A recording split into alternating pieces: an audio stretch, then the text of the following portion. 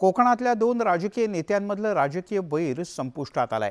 एकमेकांवर टीका करणारे रामदास कदम आणि माजी आमदार सूर्यकांत दळवी आता एकाच व्यासपीठावर दिसत आहेत दोघे मिळून महायुतीचे उमेदवार सुनील तटकरे यांचा प्रचार करतायत.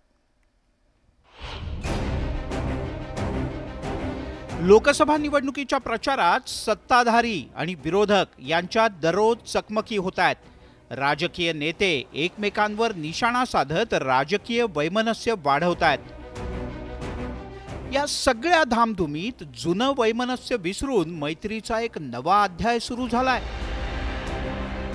कारण मागच्या दहा वर्षांपासून एकमेकांवर टीका करणारे माजी मंत्री रामदास कदम आणि माजी आमदार सूर्यकांत दळवी यांनी मैत्रीचा हात पुढे केलाय. दोन्ही नेते महायुतीचे उमेदवार सुनील तटकरे यांच्या प्रचारात एकत्र आले आहेत. थोडसा वाद का कधी बोलतात ते मला अजूनचं काय गणित कळलं नाही. मी त्याला काय उत्तर देत नाही. कधीच त्यांच्या प्रश्नाला मी उत्तर दिलं नाही. दिनान दिला पण नाही. मग ते संध्याकाळी तुम्ही बोलता की मला माहिती नाही. काय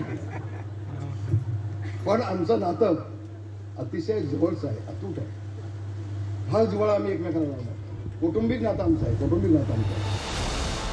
सूर्यकांत दळवी यांनी नुकताच भाजपात प्रवेश केला आहे तर रामदास कदम यांनी दोन वर्षांपूर्वी एकनाथ शिंदे यांच्या शिवसेनेला पसंती दिली.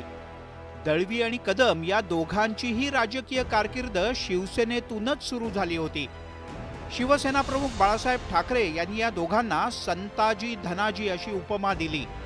दोन हजार चौदामध्ये मात्र निवडणुकीत पराभव झाल्यानंतर या दोन्ही नेत्यांमध्ये वितुष्ट निर्माण झालं. तेव्हापासूनच या दोन्ही नेत्यांनी अनेकदा एकमेकांवर जोरदार निशाणा साधला. मात्र आता हे दोन्ही नेते दोन वेगवेगळ्या पक्षात आहेत. पण पक्ष महायुतीचे घटक असल्यामुळे इथूनच राजकीय वैमनस्य इतिहास जमा झाल्याचं दिसतंय. आता संताजी की धनाजी?